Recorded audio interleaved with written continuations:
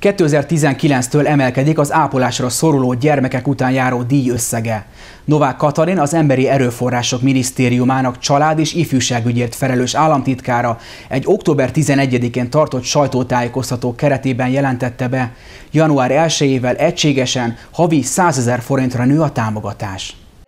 A gyermekek ápolásáért járó támogatás növelésével a kormány hosszú távú célja az, hogy a következő években megtörténő további emelésekkel 2022-re három lépésben a gondozási díj mértéke eléri az akkori minimálbér összegét.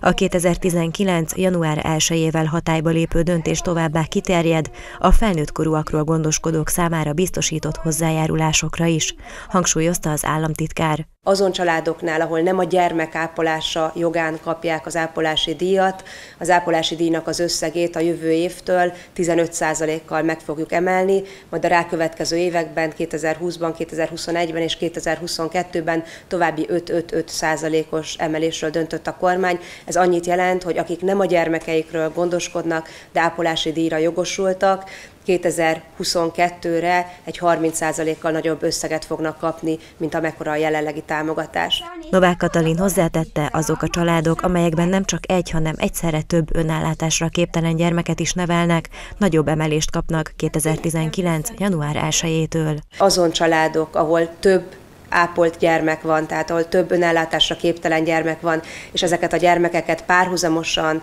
együtt, közösen otthon ápolják, ők másfélszeresére lesznek jogosultak a gyermekápolási díjnak. Szintén fontos változás, hogy a kormány az önellátásra képtelen kiskorúak gondozását ellátó személyeknek járó gyermekápolási díjat új támogatási kategóriaként vezeti be, mondta el az államtitkár.